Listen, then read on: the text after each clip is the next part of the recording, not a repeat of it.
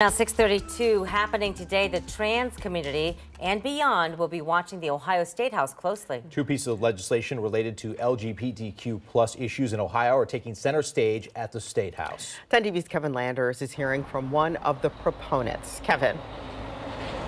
Well, good morning. Advocates of LGBT rights have raised concerns about this legislation, and today both pieces will be discussed essentially at the same time here at the State House. Here is what we know.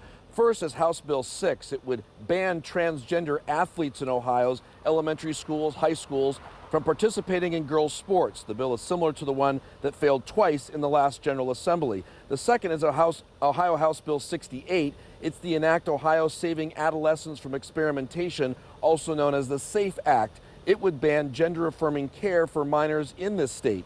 Yesterday, we spoke with Representative Gary Click, who introduced the bill.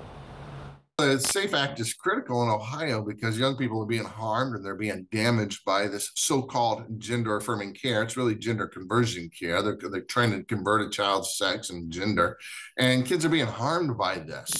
What they're doing is they're setting a child's endocrine system at war against their DNA.